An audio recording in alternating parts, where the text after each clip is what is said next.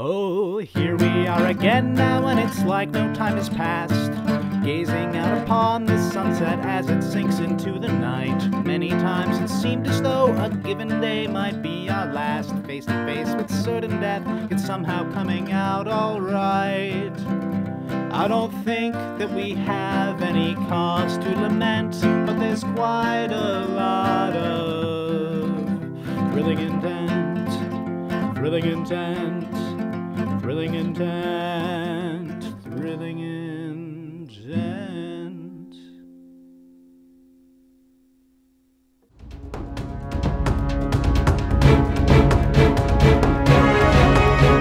Ashton Marcus, you your face is touching the ground. It's oh, God, it's so gross. It's sticky. Oh, free arc is wait, hold on. This is like muck. This isn't characteristic of free arc at all. This is just mud. It almost God, it almost reminds you of a long, long time ago where you met a bunch of paladins in a different place and you woke up and it was just oh nasty, gross. Uh you you kind of wipe it off of your face and take a look around. The last thing you remember is coming into physical contact with uh, with the steward, getting a kick to the head, and uh, passing out. However, this area around looks completely different. The The trees are low, squat, and ugly, and on either side you see weapon racks adorned with sort of a piecemeal weaponry, occasionally a fine one sticking out. Across the what what appears to be a training ground, you hear another ring as an attack goes wide. An arrow streaks past a shadow on the far side of the far side of the little arena and hits an iron post. Another miss. Another miss. Uh, the man looks down and picks the arrow out of the post. I don't think the bow is right for you, boy. he wanders over and takes it from you. Now, tell me what weapon is. We've tried short swords, we've tried long swords. What what do you think? In all my years as a man at arms, I haven't seen someone someone as so completely inept as you. Where is your value, kid? Well, you know, uh, sometimes people have special talents inside of them that they just haven't found yet. And, uh, maybe I could try the sword again. he was like he was tapping the side of his great bearded face just this this like this staunch just unpleasant looking guy this is instructor simon he's a jackass you've always known he's been a jackass you were hoping for literally anyone better but no you're here with this guy he looked completely disinterested the entire time until you mentioned the the sword again. He looks up. Yeah, the sword again. The sword. Okay, sure. Aaron, go get the sword. Um, a uh, behind you kind of steps up, mutters to herself, wanders over, picks up a blade for you, brings it over, hands it to you with an almost like wry but sympathetic smile, and then sits down on the side of this this uh, container of yet more weapons. Okay, give me your best shot. Uh, this this continues for a time. Ash and Marcus, you're free to act. Uh, Uh, Mar- what, is, Marcus- what is happening? What is happening here? I uh, Where are I don't we? know. We were in I free don't- right? I- was- there was snow I- on the ground, right? I'm not crazy. Spin attack! no, and we're and, and and now and now we're we're covered we're covered in mud too. Yeah, yeah. Did you wait, Spin the other way attack! Did you see the Did you see the steward? Oh, I remember seeing the steward, and then I just kind of fell. wait. Okay, okay. I look wait, wait, wait, behind wait. us, uh, towards this area. Can I see anything? Is it just mist? You get sick looking at it. Oh no. Okay. Oh That's no! right. Back to me! Back to me! Don't yep, look that yep, way! Don't look that way! Okay, okay. Uh, professional opinion. Give me your professional opinion. Professional opinion. Uh, we have been charmed somehow or otherwise magically influenced such that we are in some sort of illusory shadow world? Okay, okay, great, great, great, great, great. Re- Okay, professional opinion. Uh, solution.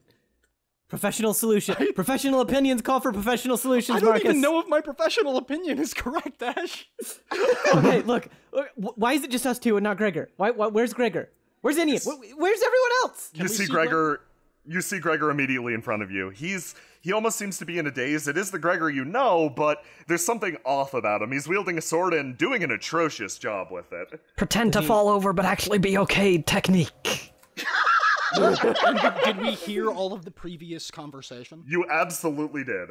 Okay, I, I call me crazy, but I think that, I think that this illusion might be very closely related to Gregor because this looks like a Gregor that doesn't know how to fight, and I don't know about you, but I've never met a Gregor like that before. Okay, do you think it's like? Do you think it's like? Oh shit! Wait. Okay. Oh shit! Sorry, Gregor. If this is your memories, I'm really sorry that we're seeing this without your permission. I think this might be his memories. Oh, I feel so embarrassed. No, no. Okay, okay, so this is a young Stupid Gregor Gregor. presumably training with the Outriders before tragedy struck. Right, but what's the solution? What's the professional solution for this professional opinion? Okay, so here's my thought. Uh, you see all those all those creepy shadows around? For Gregor, you see these people's features clearly. However, for everyone else, they're indistinct, as if it's like. As if. The best way that I could describe it is it's as if somebody had described these people to you and you'd had an image in your brain but didn't it didn't quite sit right. They're in a semi-fictional space. Your mind is rendering them but slightly incorrect. Do we kill them? Do we just like I don't know. As far as I murder can his tell- memories? As far as I can tell, Gregor thinks that these are important people from his memories. Right, so that would be bad if we killed the people that were important to him in his past. Yeah, in well, his I mean, I'm, memories. I'm most concerned that if we start doing that, he's gonna flip out and start attacking us. That's a good point. So also, what, should we do? what if should- we were the people who killed his loved ones in the past? What if this is the actual past? I, I grab, I Yeah. grab Marcus Yeah, I and was shake him. thinking that too. I grab Marcus and shake him. No, we can fix this. We can be his loving parents, okay? Wait, what? Listen, listen, listen. We're going to pick him up from Outrider School and Okay. take him home. Okay, all right. Instructor, do I, figured it out. Yeah, what is it? My body is too short and useless. Mm. yeah. I agree on that front. Uh, how how dare you talk to my son like that? How dare you talk to my son like that? The figure turns and looks at you uh the the shape almost growing indistinct it mouths a single word and then snaps back to gregor as if you don't even exist Mm, that's not right. your body's too short and useless you say Yeah. so we tried the bow Excuse me. we tried the bow and it didn't work. We tried. Okay. What? You're right. do you suggest Uh, Gregor looks down and see he sees he already has the sword in his hand. Uh, what do you think I could try Ventus's weapon? Ventus's weapon really a kid like you Well, maybe No. maybe if I the just looked glaive's a at it. symbol and- of our order. I I don't think you're even ready for a spear, let alone a glaive. Well, I mean, it, it looks like everybody gets training in the spear. I mean, eventually I would, right? You're not gonna hold me back and not let me move on because I can't master the basics, right? I want to try and find a spear on this, or a spear or a glaive on A this. glaive. leg. preferably Okay. a glaive. Um, you uh, you hunt around and you do not. Yeah, you notice you notice spears. Everybody learns the spear. No glaives. Gregor Gregor knows this by heart. Uh, but there you don't see a glaive here. It's yeah, no, it's conspicuously missing. Is are any one of the shadows wielding a glaive? Uh, no. Gonna grab the grab one of the spears. Okay, so this is just a normal spear, but if I give it a little bit of tweaking, uh, I Uh-huh. I snatch some shadows out of the air and weave them around such that they extend the uh, tip of the spear, making it almost glaive-like. Oh, oh, oh, oh, oh! I'm like hitting Marcus as I say it. Yeah, I know, I know. But I still don't know if this is going to work. I mean, to them, it might just look like this no, no, no. son of a bitch is floating through the air, you know? No, just just toss it in all dramatically, like some sort of fucking prophecy or some shit. Good idea. I throw it very badly in Gregor's general direction. It kind of tumbles end over end, hits the ground, wobbles up and down once once or twice, and then falls flat. The spear sticks in the ground in front of you, Gregor, and the sort of logic of the dream begins to correct itself. Fine, boy. We can start with the spear. We'll see what happens if you can. If you can master that, we'll see if you can work your way up to a glaive. Uh, the man draws his weapon. It's a short axe uh, and a shield on the side. Okay, come on. Prove your life was worth saving. And he moves in, and you two engage each other. Uh, Gregor, are you gonna pick up the spear? Oh yeah. Oh yeah. It seems perfect for my tiny arm. T- normal arm. Hmm. I'm older than I think I should be. Well, no time for that. You actually manage to immediately strike the instructor on the shoulder. He looks actually shocked, as if he never expected you to hit him. He looks suddenly furious and, eyes igniting, swings his axe down and splinters your spear. Not good enough! You fall backwards. Ash, I'm kind of panicking a little bit here. I don't know if we're supposed to kill these things I, or not. okay. I I step forward uh, and I I uh, obeying the dream logic. I don't try to directly intervene, but I want to like get close to Gregor and whisper, "Gregor, you can do." Oh, my ear tickles. I I Forgive move my me. hand over the uh, the the shattered spear in an attempt to piece it back together. There is, regardless of what you do, there is no way to fix this. Okay. However, you feel you feel an almost calm traveling through the uh, through the entire clearing, as if this dream is shifting from a fever to something a little more even, a, a soothing memory. Um, Ash, you feel the presence of somebody incredibly large behind you, almost impossibly sized. But when you take a look, normal sized man, pointy beard. He walks up and he wordlessly drops something next to Gregor. It's a long and beaten, weather worn object with a pointed but curved end. A long pole arm that now sits in the ground in front of him. He offers the kid a simple nod. Everyone stops and salutes, and then the man walks away to observe. Was that Ventus? I I mean I think so. It's kind of murky, but Excuse based me, on are you how Ventus? everyone. yes. based on like you can't your eyes don't quite get the picture of this man but you get an overwhelming feeling of pride and comfort from him. Hmm. If you had to guess yeah absolutely this is probably ventus. Gregor tries not to freak out. everybody around you is similarly like frozen at what just happened. They all watch and get ready. The instructor's hand is shaking. Can you run a guidance through him? Gregor yeah, yeah. takes a deep breath, picks up the weapon. I tackle Gregor and run a guidance through him.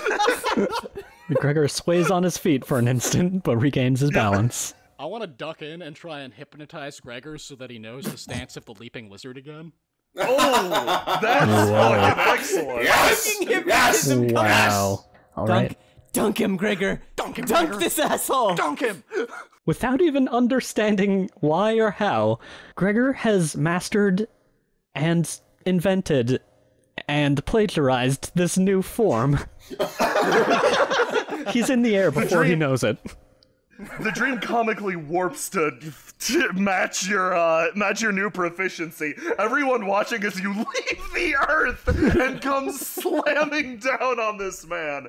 You hit the ground, sending a shockwave through not only him but the clearing around. There's stunned silence as the shadows all pop dramatically, leaving you alone with your pals. Marcus lies on the ground like Yeah, an re- idiot. realizing that the tabletop was not necessary, Marcus gets up and dusts himself off. Gregor, everything snaps to. You suddenly feel like yourself again. You feel reinvigorated, power just coursing through your limbs. Your eyes suddenly glare at the world around you, Gregor. That sickening mist that seemed to uh, accost Marcus and Ash is nothing in front of your eyes. You can easily glance through it, and you find multiple vulnerabilities, sources with which you can cut away the dream itself. Whoa. Dang. This place is terrible looking. Hey, oh, you're back. So you're back. Gregor starts swatting at the mist. I don't think he can see us. Okay, I think he's just angry at the the clouds. You think he's angry that we tried to pose as his parents? no, You guys, I don't. I jumped really hard. And it was all my Okay, own no, idea. he's back to normal. He's back to normal. Okay, good. You did great, Gregor. We were we're so proud of you. Extremely proud. Thank you. That Couldn't be prouder. that means more than I thought it would mean to me. Gregor, we're so proud of you. Uh, is the world melting to anybody else? Yeah. Okay. Wait. Quick. Quick catch up. We're like stuck in a weird. Uh, Marcus, lay the professional opinion on him. We're we're, late, we're we're stuck in some sort of crazy illus- illusory dream realm that I think the steward managed to put us into. I I mm-hmm, think we did mm-hmm. the right thing by helping mm-hmm. you kind of play. Right. We dished out some professional out of it. solutions.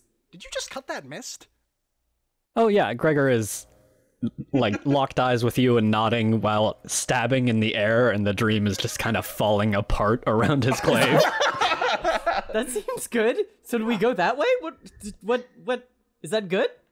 hmm. We can't really look at it without getting sick. Okay, I'm going to try something crazy that I just thought of because I'm really good at coming up with techniques now. That, that's Right. what we did. Gregor stabs his glaive in the ground and then runs in a circle around them. You uh you punch through the world around you and it's it seems like reality itself seems to rush up to meet your eyes. Your vision goes dark and you're transported somewhere else. Meanwhile, in the real world, the creature's eyes fixate on you, Harlock. It seems surprised, uh, like shocked even. It does have a weapon in its hand, a spiked chain, but it doesn't seem to be using it. It seems completely okay with everybody on the ground, its ire focused and confusion focused singularly on you. However, in its surprise, it doesn't seem to be attacking. You probably have a moment. Nobody with a spike chain has ever won a fight. I'm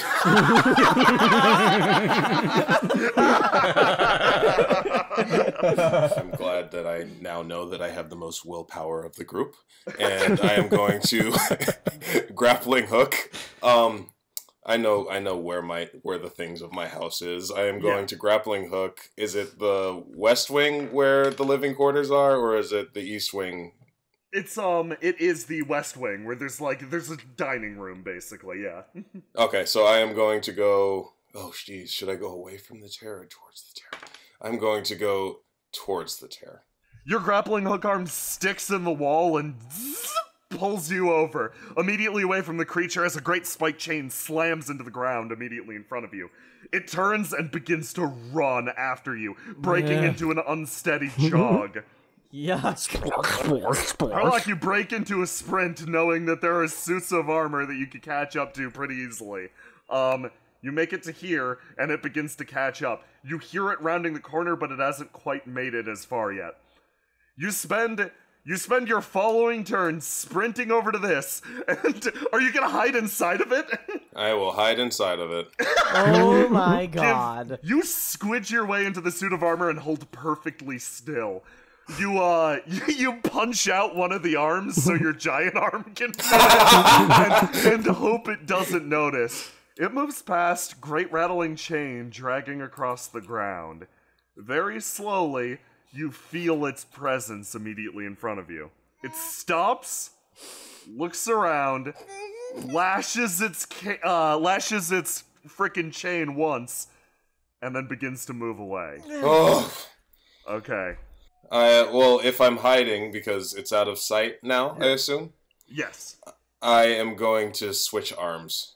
Harlock, Harlock, you change your equipment safely inside the suit of armor. It's time to take the fight to this thing. Your eyes snap back open, and suddenly it feels cold, like frigid, positive. Oh, you're back in Free Arc, it feels like almost. And then suddenly, oh god, it's hot! It's so freaking hot! You oh. stare right in front of yourselves as your eyes mist over, looking at a blazing fire. Oh, okay. Oh I. I look to my left and right.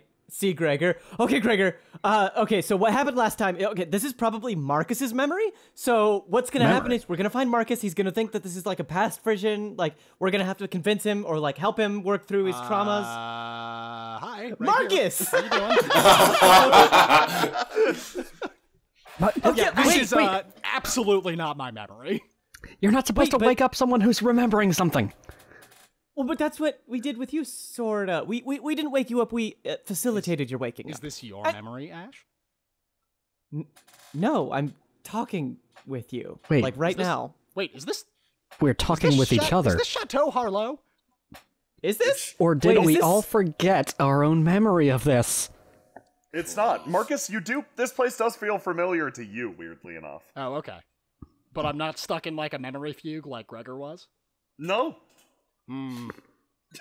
Wait, okay, so do we go into the burning mill? As you wander forward, Marcus, you notice something sketched into the ground in burning lettering. Oh, I've wanted to see this. Yeah, it's a note that just reads, Good luck, chumps, dash Inian with a heart next to it. yeah, the steward. A, creature that's maintained some amount of intelligence, unable to capture its prey, begins to drag itself backwards, eyes full of malice. If it's unable to capture Harlock, it'll do the next best thing and inflict great suffering to those still on the ground. It rounds the corner and sees somebody with a shit eating grin smiling up at it, mm-hmm. shuffling the very, very last of everyone away. A KO'd Marcus. She grins, blows a raspberry, and hastes herself right out the door. Oh my god. Hey everyone, did you enjoy the episode? Well, if you did, I'll be live streaming a project that's totally similar to this cheeky, cooperative, and sort of dreamlike vibe I've been going for in TI lately. On Friday night, August 31st at 9 p.m. EST on twitch.tv forward slash stabbyness, I'm proud to announce Windrose Everlasting, a TTRPG of surreal kindness that I've been working on for well over a year at this point. A lot of my time, effort, and experiences have been poured into the project, as well as the work of many friends from here on this channel and elsewhere. I really hope to see you there for the debut on Friday, but like, if you can't make it, or you're viewing this video after the fact, no big deal. Um, a link to the YouTube archive will be in the description below. Uh, thank you so much for watching Thrilling Intent and supporting us in all of our nonsense. Seriously, it's been wonderful. Thanks.